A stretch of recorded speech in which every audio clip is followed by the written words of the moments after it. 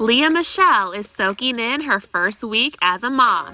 Just days after giving birth, the actress introduced newborn son Ever to the world by sharing a precious photo of his tiny foot.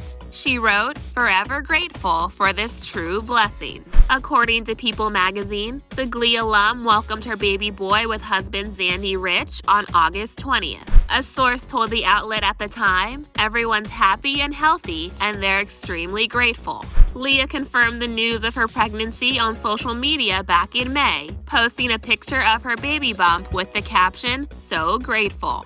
But the star's road to motherhood was also plagued with controversy following multiple accusations from former co workers about her bullying on set.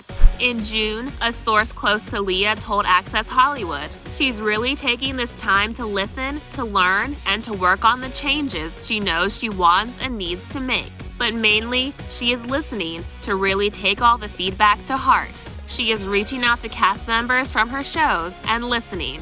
Lea and Zandy got engaged in April 2018 after a year of dating. He proposed with a custom 4 carat diamond ring, which the bride to be later showed off on Instagram. The couple eventually tied the knot in March 2019 at an intimate ceremony in Northern California.